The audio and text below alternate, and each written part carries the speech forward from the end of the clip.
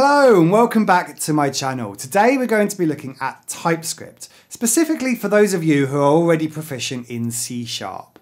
I'll show you why learning TypeScript as a C Sharp developer could be worth your time.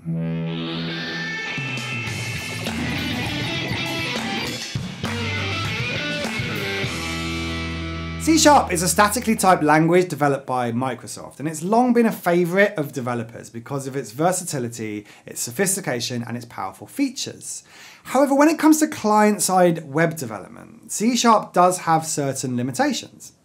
At present, Blazor offers the only real way to write front end code in C Sharp.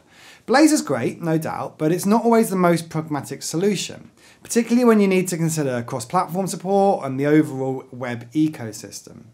It's also not great if you need to work with a larger team of front-end engineers. It's not easy to hire Blazor developers to your company. TypeScript, on the other hand, is one of the most popular and most sought after programming languages around today. So it's incredibly easy to build up a team of TypeScript developers. And this is where you, as a C Sharp developer, have a distinct advantage.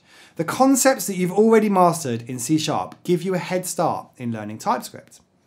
Course, to really appreciate why learning TypeScript as a C Sharp developer makes sense, it's helpful to understand the origins of TypeScript.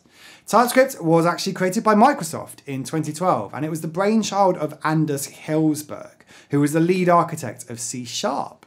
So that's right, the same person who contributed significantly to our favourite language, C Sharp, also had a major hand in developing TypeScript. The goal with TypeScript was to improve and secure the production of JavaScript by introducing static types. Over the years, TypeScript's popularity has surged and it's become an industry standard for web development, and it's used by big tech companies like Slack, Airbnb, and even Microsoft itself. When you start delving into TypeScript, you'll find a lot of similarities with C Sharp.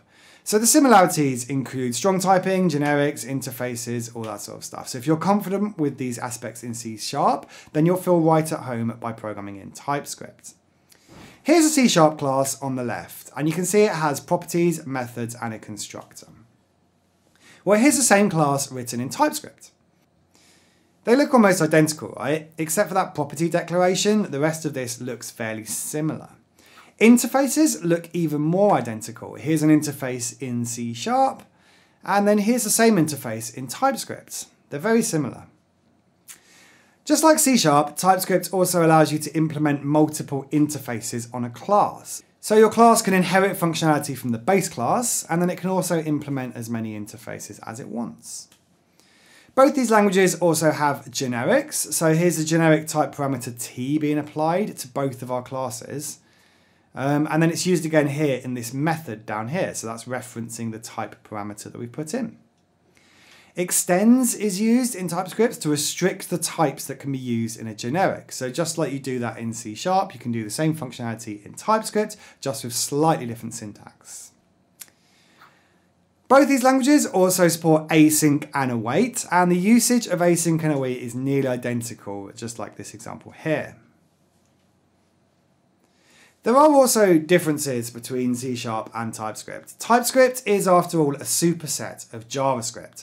So that means it contains certain characteristics inherent to JavaScript. And you'll need to get comfortable with concepts such as dynamic typing. TypeScript has this any type, and while it is generally recommended to avoid using this any type, you will no doubt come across it from time to time when writing TypeScript. The closest thing that C Sharp has to the any type is the dynamic type, like this. And if you've ever had to work with dynamic types in C Sharp, then you'll know that they aren't the nicest thing to deal with on a regular basis. So now let's have a look at how you can write some TypeScript code right now in Visual Studio. Here I've got Visual Studio 2022 and it has fantastic support for TypeScript.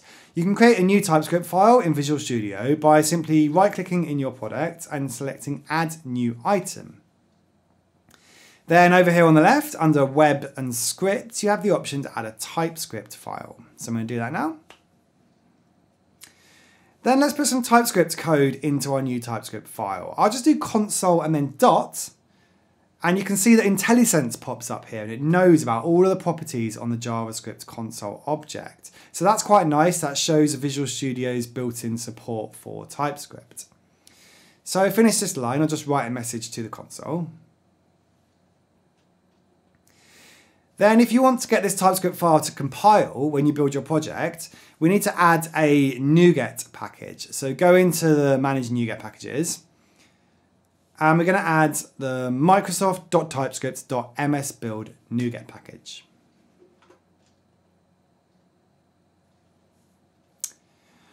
Once that package has installed, then just do a build of your project. And you can see that when we build it, that MS Build has created this compiled JavaScript file from here. And that's been compiled from our TypeScript source code. It's also created this source map file here, which too, which is useful for debugging. So we can change this, and if we were to rebuild it, it would rebuild our JavaScript.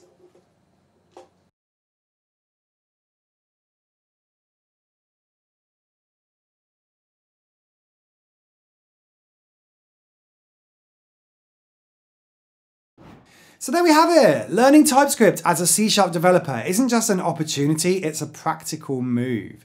By learning TypeScript, you'll be able to write client-side code that runs anywhere JavaScript does. You'll expand your toolkit, making you a more versatile developer in an increasingly web-centric world. And remember, you already have a head start with your C-sharp experience. So thank you for joining me in this video. If you found this video insightful, be sure to like it and subscribe to Train to Code here on YouTube. My name's James Charlesworth, and I'll see you next time for more tips, guides, tutorials on web development and general programming advice.